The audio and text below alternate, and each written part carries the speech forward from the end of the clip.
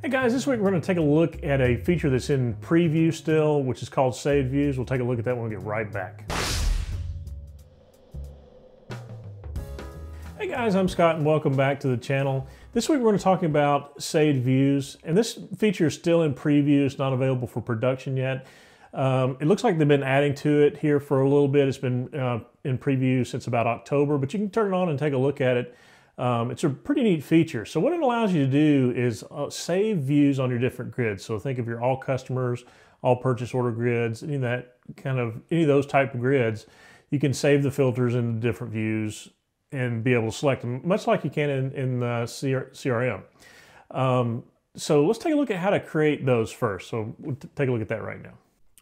The feature we were looking at today, Save Views, has been in public preview since October 3rd of 2019.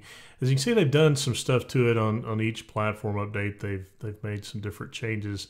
But again, it is still in preview right now. But uh, I thought it was a really neat feature, so I thought I'd go ahead and show it to you. Um, so this is actually needs to be enabled through feature management. So if we go into feature management, and I'm going to go to all here and I'm just going to filter based on if it contains the word view. And this is the, the option that you need to turn on. Again, it's still in preview, so you can't run it in production yet um, when you turn that on. Okay, so let's take a look and see what that does. And I'll go to procurement sourcing. We'll go to all purchase orders, but this is available in a lot of the grids here. I'm noticing when you turn this on, for example, all customers, generally the all screens, it, it has them. So when you first launch into it, it may have like a standard view or it may, may say my view. Um, I've seen it both ways, but um, right now I've got it set as default to the standard view. You can see there's the pin in it right there and it's going to launch into the standard view. All right, so let's say that we wanted to uh, create a view that's just for datum. So let's go ahead and just filter this down to datum here in the in the in the vendor name. So let's just say it begins with datum. You go apply that and that'll filter down just to the datum um, vendor name. So what we can do now is we can save this as, so we're going to save as, and we'll give it a name, datum, and we'll just say um, list of datum purchase orders. Okay, then we'll save that.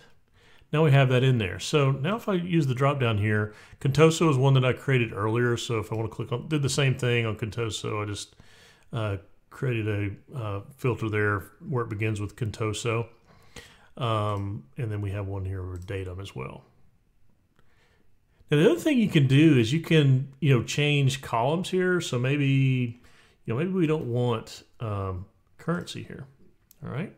So we can just save that under datum. So notice the currency is gone now, but let's see if let's go and flip it back to the Contoso and currency's back. So you can really customize these grids and make them whatever you want. Now the other thing you can do is, let me go back out of purchasing, I'll go back to the home page and then we'll go back into this. And so let's go back in there, procurement sourcing all purchase orders. And again, it's going to default to that uh, standard view to defaulting back to the standard view. But let's say I want it to default for me. I want it to default to the datum view. All right, so if I select datum, and then once I have datum loaded there, I can hit the little ellipse here, and then I can pin this as default. All right, so then let's go ahead and we'll go back out again. So we'll go back to the home page, and let's go back into all purchase orders. And now it's going to default to the datum. Okay. So the other thing you can do is we hit the ellipse here, we get we can go manage views, and we can basically change the uh, delete from here or rename, etc. from from this spot right here. Like we can remove remove them here. Okay.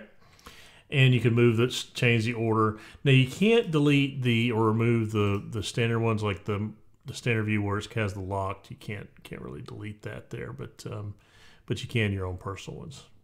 So these are personalizations, but you can publish these out. So let's take a look at how you can actually publish these views out. Once you've created your views, it's going to actually be a personalization, so only you are going to be able to see this view.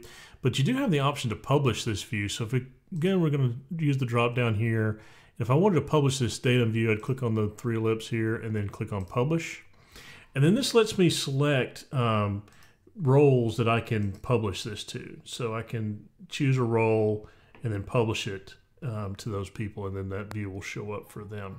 Okay, and I can set it to publish it as a default view. So personally, I can't wait for these to come out. It, it's going to be incredibly handy to be able to create different views in these different grids to be able to see different information. That's going to be really, really neat once once those get uh, get released for uh, general use and production, right? So I hope you enjoyed this video. If you did, please like it, give it a thumbs up. And also I put out a video once, twice a week. So if you want to get notified when I create a new video, go ahead and subscribe, subscribe um, to the channel and that way you'll get notified when I upload a new video, okay? So again, thanks for watching. Until next time, I'll see you later. Bye.